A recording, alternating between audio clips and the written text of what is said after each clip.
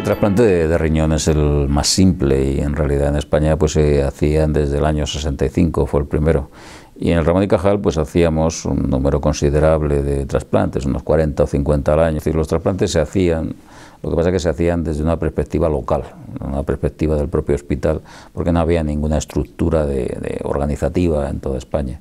Y luego además había, había otra cosa, que, eso ya es más propio de los años 80, y es la aparición de los grandes trasplantes de, hígado y de corazón, que esto sí que ya necesita una estructura coordinativa estatal. Entonces en España pues, se podía decir que existía buena materia prima, es decir, había buenos clínicos, buenos cirujanos en muchos hospitales, pero lo que faltaba era algo que los coordinara, que los organizase, que les diese una forma que realmente en esos momentos no tenían. Y bueno, ese fue el motivo por el que se crea la ONT y ese fue el motivo por el que eh, yo salgo del Ramón y Cajal y vengo aquí. Los primeros pasos fueron muy difíciles porque, bueno, pues eh, había muchos intereses creados a todos los niveles y cada cual, pues, eh, defendía su razón. Algunos colectivos claramente a favor, como el colectivo de los nefrólogos, que eran este, quienes en ese momento se encargaban mayoritariamente de la donación de órganos, pero hubo otros en el que recibieron la, la, idea pues de una forma incluso agresiva. ¿no? Lo que pasa es que luego cuando las cosas empezaron a ir bien y cuando nosotros empezamos en el 89 y ya en el 92 nos ponemos a la cabeza del mundo en donaciones, bueno, pues eh, el tema se, se apaciguó bastante. Yo conocía lo que ocurría en mi hospital, que funcionaba bien, pero había visto una cosa que es, eh, luego fue básica y es que dependiendo de quién fuera la persona que, que pedía los órganos, pues finalmente la familia decía sí o decía no. Bueno, eso fue fundamental para, para, constatar que había que profesionalizar ese momento, esa profesión de, de, coordinador. Y entonces yo escuché mucho a gente que estaba trabajando pues, en el País Vasco y que tenía unas experiencias muy, muy innovadoras en Cataluña, en otros hospitales de Madrid, en Galicia. Lo que se trató pues, fue de ir trasladando las mejores prácticas de unos sitios a otros.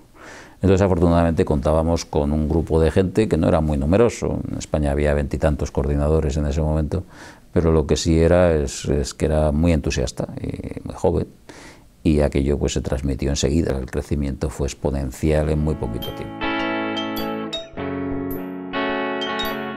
Lo que se conoce internacionalmente como modelo español básicamente es un modelo organizativo que no deja nada al azar y que pone de manifiesto que cualquier aumento en la donación de órganos es el resultado de una, mejora en la organización. La organización de todo, de cómo se llega a las familias, de cómo se llega a la población, de cómo se organiza la, detección de esos donantes, que por supuesto asienta en otros dos pilares que son básicos. Eh, la población española es generosa cuando realmente el mensaje es adecuado. Y en nuestro caso yo creo que el mensaje es adecuado y además... Uh, ha sido algo tan transparente que en estos 28 años evidentemente no hemos caído en el más mínimo renuncio. Claro, esto da una confianza a la población eh, muy sólida y una eh, necesidad de contribuir a que este sistema pues siga, siga salvando vidas. Y después la tercera pata, y muy importante, no menos importante que las otras dos, es tener un sistema nacional de salud que cubre a toda la población y que nos permite lanzar un mensaje que es fácil de decir pero difícil de lograr y es que todo el mundo debe donar porque todos nosotros, nuestros familiares, nuestros amigos, nuestros alguien que se relaciona con nosotros lo puede necesitar. Y si lo necesita, lo va a conseguir con todas las garantías, sin ningún tipo de discriminación, ni positiva ni negativa.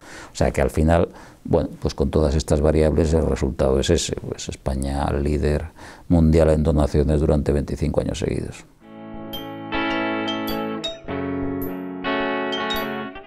En estos momentos se puede decir que el modelo español ha impregnado el sistema de donación de los cinco continentes y que todos en mayor o menor medida, la práctica totalidad de los países han aprendido algo de nosotros y han introducido en su modelo pues, la figura del coordinador o el sistema organizativo descentralizado. Lo que es importante es que la, traslación de esa experiencia española pues, realmente ha contribuido a mejorar los índices en multitud de países y además se ha visto de una forma muy clara. Todo el sur de Europa está muy, muy impregnado del del sistema español y es donde están los países con mayor índice de donación. Yo creo que sí, efectivamente, esto sí que marca España, porque no, no, no hay ningún país en el mundo donde realmente al hablar de donación no se cite a, a la ONT.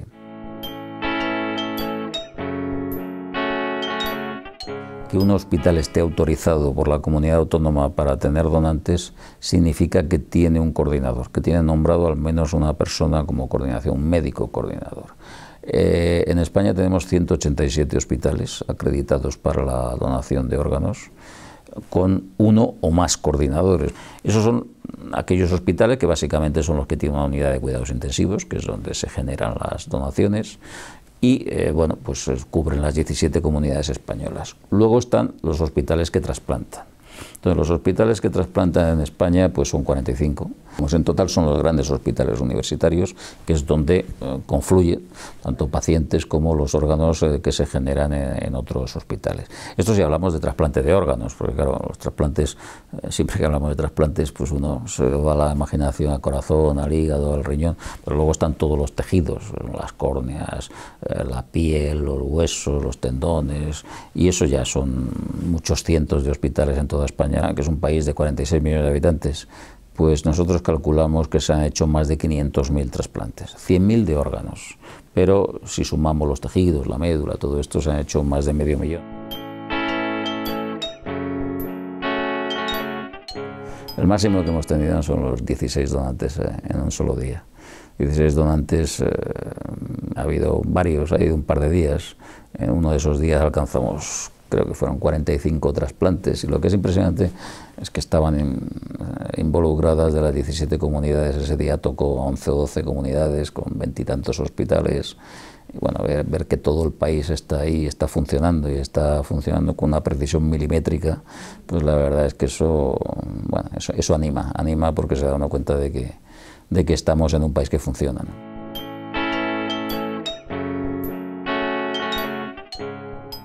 Yo recuerdo que mis primeros contactos con los pacientes en diálisis, pues personas de más de 50 años las considerábamos de alto riesgo para ser trasplantadas, entre otras cosas porque no disponíamos de medicamentos eficaces para casi nada, ¿no? Y bueno, pues era un riesgo y el paciente tenía incluso más supervivencia en diálisis, cosa que hoy no tiene el más mínimo sentido, ¿no?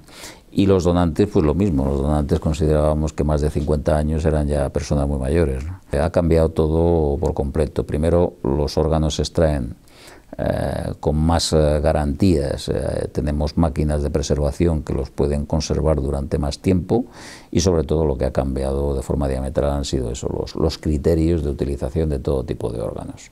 O sea, hoy día, por ejemplo, el año pasado, en 2016, más de la mitad de los donantes tenían más de 60 años, la tercera parte más de 70 y un 10% más de 80. Y se consiguió ese récord de 94 años para un hígado, pero por ejemplo 87 para un pulmón o 79 para un corazón. Es decir, algo que era absolutamente impensable hace, unos años, pues hoy día es una cosa habitual.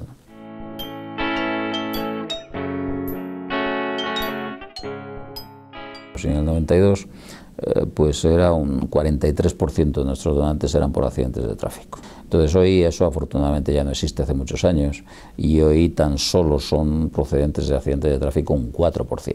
Una de las grandes innovaciones que, que ha sufrido el sistema en los últimos 10 años ha sido la detección de donantes en, en los servicios de urgencia de personas que llegan a esos servicios, habitualmente muy mayores, que llegan con un accidente cerebrovascular, un ictus, una hemorragia, y que bueno pues eh, no se puede hacer nada por salvar su vida, pero se puede plantear a la familia la posibilidad de donar los órganos. Y la gente responde muy bien en esta situación y, hoy día ya la cuarta parte de nuestros donantes, un 24% el año pasado, procede, han sido detectados en, en, urgencias. Y luego hay otro tipo de donantes, que son los donantes en parada cardíaca, que antes también tampoco realmente los detectábamos y que en estos momentos el año pasado fueron ya prácticamente 500 donantes ¿no? y este año están creciendo a un ritmo frenético.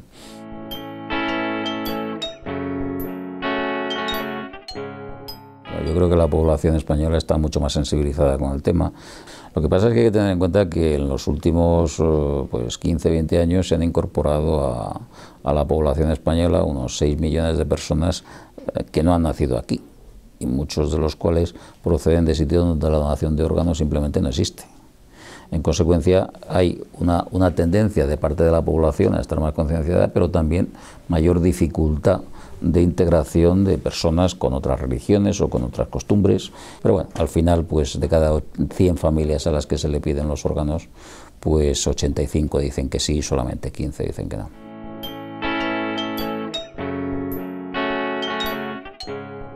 Sido preciso construir una especie de, cortafuegos eh, para evitar que esas injerencias políticas llegaran a,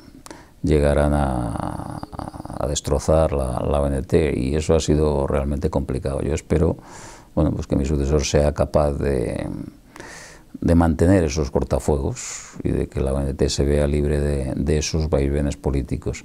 La gran fuerza de la ONT es que no se trata ya solo de las alrededor de 40 personas que trabajamos en este edificio, sino que la ONT pues son los cientos, miles de, gente que está en todo el sistema, en las 17 comunidades.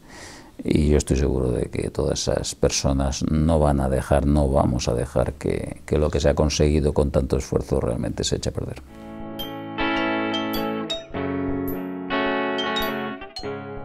Bueno, yo prefiero acordarme de los, de los buenos momentos que los ha habido y muchos, ¿no? Y hacer un balance sin duda positivo. Se tiende a quedar con aquellas cosas que fueron más agradables. Muy agradables fueron, pues yo qué sé, el momento en que, en que, el primer momento en que ya nos vimos que éramos los primeros del mundo, fue muy agradable, muy agradable nuestros 25 años, la celebración que hicimos pues hace un, hace un par de años en el ministerio, con la reina y con todos los trasplantadores, y bueno, pues fue un momento muy agradable, o la concesión del premio Príncipe de Asturias eh, en el 2010, o la aprobación de la Directiva Europea, que fue una obra de, de España y además en muy poco tiempo, o simplemente, bueno, pues estos momentos cuando uno hace balance y ve que en, que en todo este tiempo del 89 ahora, bueno, pues hemos multiplicado el número de órganos, eh, el número de donaciones lo hemos multiplicado por tres y el número de trasplantes lo hemos multiplicado por cuatro. Bueno, eso es, eso es simplemente reducir en muy pocas palabras todo lo que se ha hecho aquí.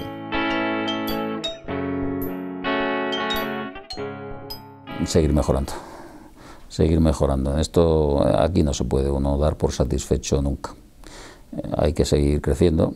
Afortunadamente, pues ahora estamos esta mañana hemos cerrado las cifras de donación y trasplantes del mes de enero y los aumentos son espectaculares en relación con el año pasado. Han aumentado un veintitantos por ciento las cifras de donación un treinta y tantos por ciento las cifras de trasplantes. Es decir, vamos a seguir creciendo. Vamos a seguir creciendo y yo creo que este es el mayor reto, porque al final no se trata de batir récords, se trata de que cualquier persona que tenga una necesidad para seguir viviendo, de recibir un riñón, un hígado, un corazón, pues lo consigue lo consigue en el menor tiempo posible. Nuestro único objetivo es ese y ese es el que tiene que, que seguir siendo en los próximos años.